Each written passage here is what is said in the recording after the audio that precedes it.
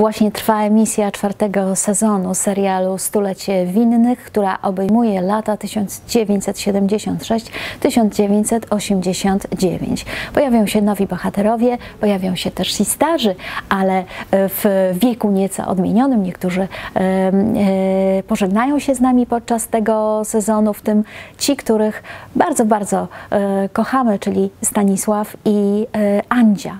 Natomiast jeśli chodzi o książkę Stulecie Winnych, e, na której motywach m, powstał e, serial, e, napisałam, proszę Państwa, początek, czyli opisałam dzieje Antoniego i Bronisławy e, wtedy, kiedy oni się poznali, wtedy, kiedy się pokochali, kiedy zaczynały się rodzić ich e, dzieci, kiedy dorastały, kiedy miały za sobą pierwsze porażki i sukcesy, których echa obserwujemy później w e, trylogii.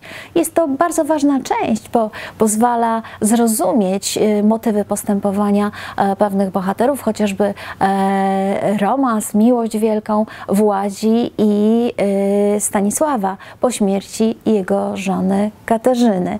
A także e, pozwala zrozumieć, e, co tak naprawdę kryje się w tym jednym zdaniu. Idźmy do chaty Batalków. Ona przepisała mi wszystkie swoje dobra, które wypowiada Antoni, kiedy wybucha pierwsza wojna światowa. Dowiemy się trochę więcej też na temat tego, dlaczego Roman jest takim złym człowiekiem i prześledzimy drogę Antoniego, e, kiedy zmagał się z nałogiem alkoholowym. Em, Będziemy też towarzyszyć Stanisławowi wtedy, kiedy uczył się cieciołki, a z pierwszego sezonu i z pierwszej części pamiętamy go jako wspaniałego cieśle. Bardzo Państwa serdecznie zapraszam. Stulecie Winnych, początek.